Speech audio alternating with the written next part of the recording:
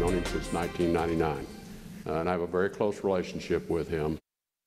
That, of course, is Rex Tillerson, Donald Trump's pick for Secretary of State, talking about his good buddy Vladimir Putin. And here's Tillerson enjoying a champagne toast with Putin after the Russian president awarded him with an honor called the Order of Friendship. Tillerson's close ties to Russia is causing a ton of concern in some circles. Trump's pick for National Security Advisor, Michael Flynn, also has a history with Russia. He's given a paid speech uh, at a party for the Russian state television, RT. Top Putin advisor told Bloomberg News, quote, this is a fantastic team.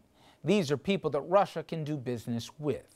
This is not happening in a vacuum. It's coming on while Russia is flexing its muscles in Syria, working with the government to fight rebels, and while U.S. intelligence agencies are saying Russia was behind the hack attack intended to impact our presidential election.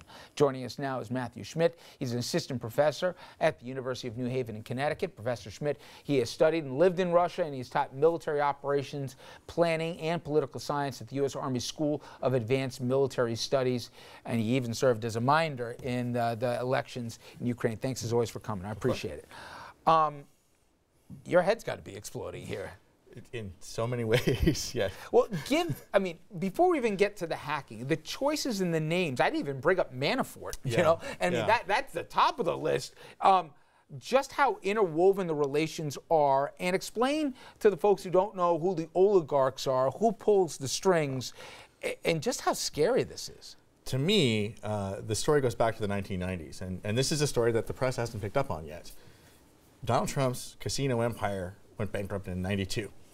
He suddenly has the money to do an IPO in 95. The question is, is where did that money come from between 92 and 95? The Soviet Union collapsed in 92. And what you see is that a bunch of Russian money came into New York, billions of dollars, a lot of it um, through a banker by the name of Edmond Safra and his Bank of New York and the mm -hmm. Republic Bank of New York. And the FBI was engaged in the largest money laundering case ever in their history, still to this day.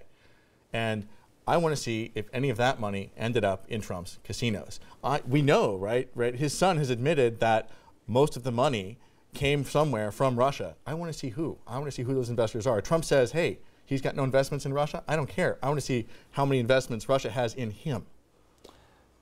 Fast forward from the 90s to now, the, the choices of people curious, but the one commonality it has is friends with Russia, friends. What's, what, why do you think that Putin would have gone to the lens he reportedly has, if you believe the intelligence reports, through the Kremlin, and obviously let's remember his background in the KGB, to, to impact our election here? Is it dislike of Hillary Clinton and her policies, or is it more love of Trump?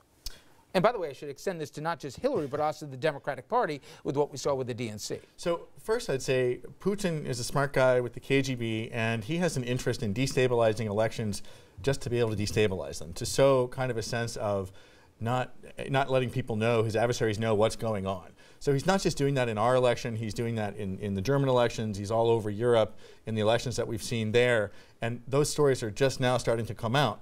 But I think here, What's interesting is that if you, if you look at those intelligence reports, which, which we can't yet, we haven't seen, but what we're hearing is something's flipped. And Putin has decided to pick the winner, which I think is different from what's been going on. Um, listen, uh, I, I, was very critical last night, and certainly not alone, and I don't want to relitigate it, but the, the tragedy to, to well, you could even call a Holocaust. It's going on in Syria right now.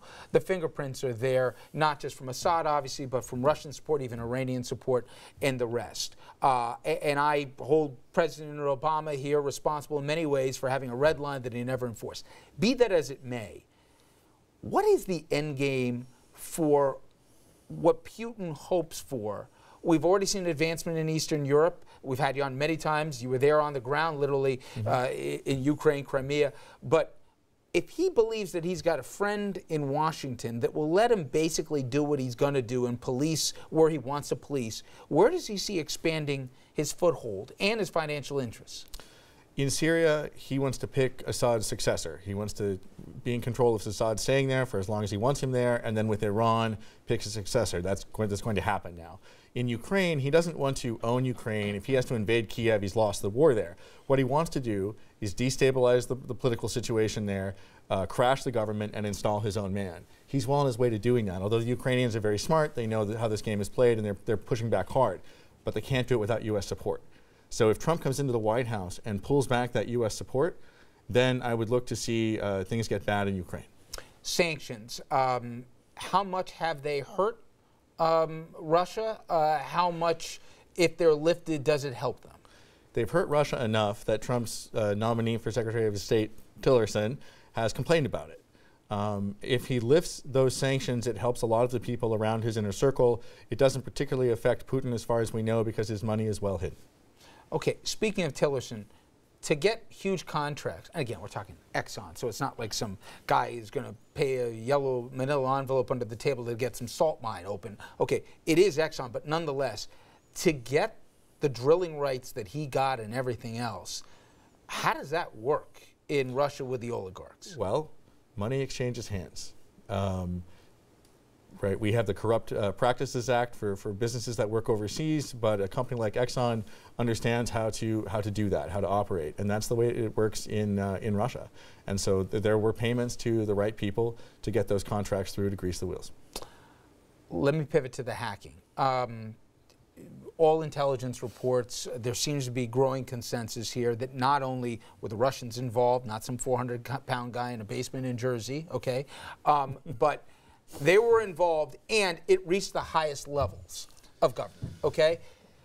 From what you know, um, does that jibe um, with how the intelligence and the hacking operations there work? And uh, what to me the biggest smoking gun could be, there reportedly was, if you believe the foreign minister, there was uh, conversations with you know, Russians and Trump during the campaign. They said they also talked to the Clinton campaign. We don't know yet the extent of it. Would it shock you? No. The, first of all, the, the intelligence agencies and the White House need to decide if they're going to release uh, these intelligence reports. Uh, we, we don't actually know what's in them. We only know what sources have been leaking out. But assuming what they say is correct, that those leaks are accurate, then it jives with what would happen because the scope of the operation to influence the, uh, the U.S. election was so high that it would have to go up to Putin. So that doesn't surprise me uh, in the least. And, and Putin's a control freak, so he would, he would want to know what's going on. For me, and then I'll let you guys jump in, the thing that should get everybody pause is Putin's an equal opportunist here. If anybody thinks, and you have a far better knowledge of it than me, if I'm Trump, the idea that you've got an ally that's going to work and do whatever until it's not convenient, mm -hmm. right? I mean, if he'll hack if he'll hack the DNC, he'll hack if he wants to the RNC, or he'll hack Trump, or he probably maybe even has information. I mean, to me, the sinking suspicion is there's been no political upside for the last year for Trump to defend Putin at every turn. I can say, even though I think I disagree with so much of it, there's been some political genius that he has managed to do here on a shoestring throughout the whole campaign that we're all wrong about, okay? So I'll admit I've underestimated his political instincts. But there's been no value to defending Putin at every turn or to, to defend him even in hacking a U.S. election.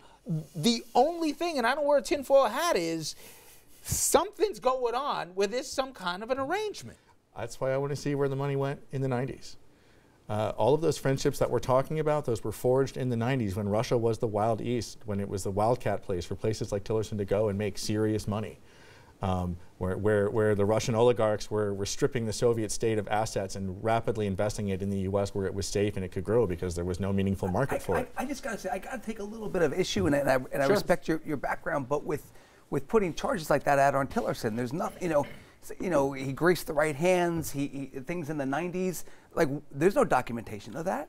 There is no chance that deals that big are made in Russia without that exchange. That's the way the system works. It's an oligarchy. It's not a, it's not a rule that, of law that, state. But that, that can't be said as a blanket statement against an executive.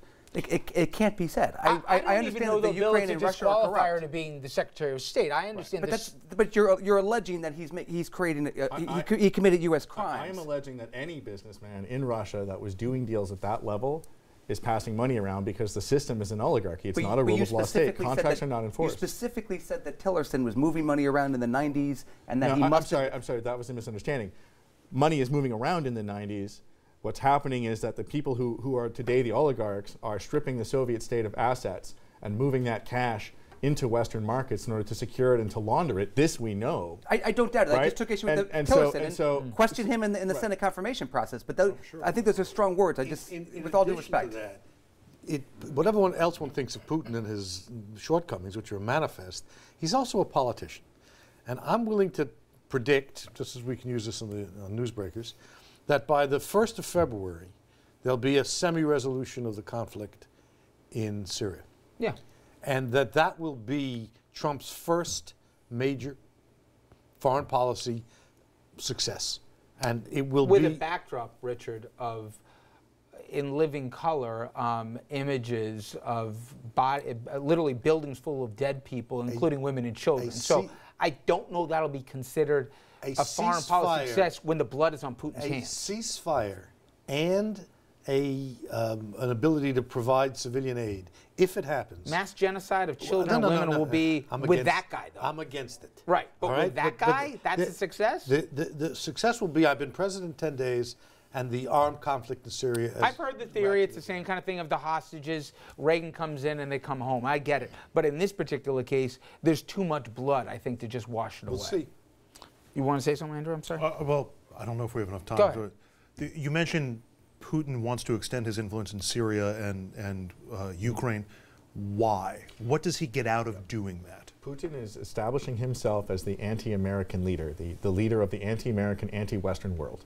And so he is, he is seeking to project power into Syria and, and mark that. The, the truth is, is that Syria has relatively little strategic value to him, but it has enormous symbolic value. Putin disagreed with the Western move to, to move into Libya and, and to, to regime change, commit regime change on Gaddafi. He disagrees with regime change in Iraq. He is pushing against the concept of regime change. Why? Because he will go up for re-election in two years, and this will be ostensibly his last term, a six-year term. He'll, he'll leave at 72, 73, 74 years old, right? He's trying to establish his legacy right now. And in order to do that, he has to push back against the West, which may well try to come in through Ukraine, stoking this revolution in Ukraine to topple the oligarchic system in Russia. And I got to hit it. We could keep going on this forever, Matt. That's a great job. And just so everybody knows, if you want to, if we all laugh about how they treat the press and everything, look at how they treat the press in Russia. Consider that. And people ask tough questions where they end up finding them. Yeah, not so funny then. Anyway. Amen. Great job. Thank you. All right. We will take a look locally at how Andrew Cuomo is making a huge push to burnish his legacy and also why he got into a screaming match with Senate Republican leader John Flanagan. That and more after this.